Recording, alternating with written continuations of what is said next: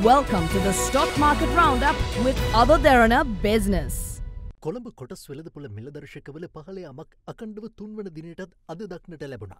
දිනේ ගණදුණු අවසානයේදී සියලු කොටස් මිලදර්ශකය ඒකක හැට දෙකයි දශම බිඳුවයි තුනකින් පහළ ගොස් එක කොළොස් දහ සත්සය හැටයි දශම හතරයි පහක් ලෙසින් සටහන් වූ අතර SNP SL20 මිලදර්ශකය ඒකක දාහතයි දශම හතරයි අටකින් පහළ ගොස් ඒකක තුන්දහස් හරසි තිස්නමේ දශම හතරයි හයක් ලෙසින් සටහන් වුණා. අද සමගම් තිස් හයක පමණක් කොටස් මිලකරන් ඉහළගිය අතර ඒකන් ස්පෙන්ස් කාගිල්ස් නේෂන් ලංකා ෆයිනන්ස් ලංකා අයෝC සහ නේෂන් ප්‍රස් බැංකුව යන සමාගම් සියලු කොටස් මිල්දර්ශකයට ඉහළ ධනාත්මක දායකත්වයක් ලබා දුන්නා.